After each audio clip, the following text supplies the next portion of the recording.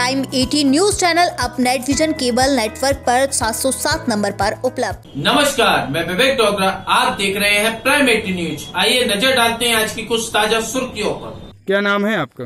दसाराम। क्या समस्या है दशहराम जी? हमारे गाँव में भेड़ी डांडा में ये समस्या है कि यहाँ कोई अगर रात में कोई डिलीवरी या कोई आदमी बीमार हो गया एंबुलेंस को फ़ोन किया जाता है तो जलालपुर से यहाँ आ नहीं सकती क्योंकि इतने बड़े बड़े रास्ते में गड्ढे कर दिए हैं ठेकेदारों ने करवा दिए हैं अपना खनन करा के चले गए किसी भी ठेकेदार ने कोई मशीन लगा के कहा था कि ये सफ़ाई करवा दो किसी ने करवाया नहीं ज्यों के त्यों वैसे ही गड्ढे पड़े हैं। सबसे ज़्यादा आने जाने की भेड़ी डांडा में सबसे ज़्यादा। सर यहाँ पे ये समस्या है कि अगर कोई बीमार हो जाए ना तो भेड़ी से जलालपुर जा सकता है ना कुपरा जा सकता है।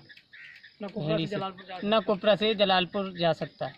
फिर न क्या? एंबुलेंस आ सकती है कोई अगर रात में बीमार हो गया। रोड सारे रोड सारा बेकार है यहाँ का। आपका क्या नाम है? मेरा नाम प्रेम राठौर है। जी क्या समस्या है? समस्या ये है कि अगले चौबीस घंटे से भीड़ डांडा में बारिश हो रही है। उसके कारण जो रास्ते हैं वो मतलब काफ़ी जाम है और जो स्कूल हैं उनमें भी पानी भरा हुआ है।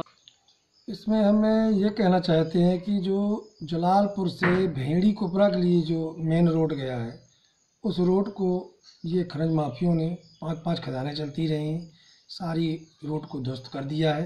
रोड का नामो निशान मिट गया, कहीं रोड नहीं है सब गड्ढों में तब्दील हो गया है। ये पी डब्ल्यू डी का रोड है, इसमें न ठेकेदारों ने कोई मरम्मत कराई, न विभाग से कोई मरम्मत।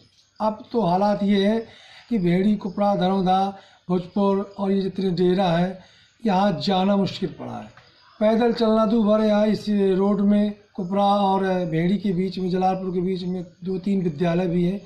जो जूनियर हाई स्कूल हमारे भरी डांडा है और वहाँ पे बच्चों को जाने में बहुत बड़ी दिक्कत होती है, जल भराव होता है। रोड खराब होने के कारण से पूरे स्कूल में पानी भर रहा है और रास्ताएँ में पानी भरा हुआ है। पूरी रास्ता जर्जर हो चुकी हैं।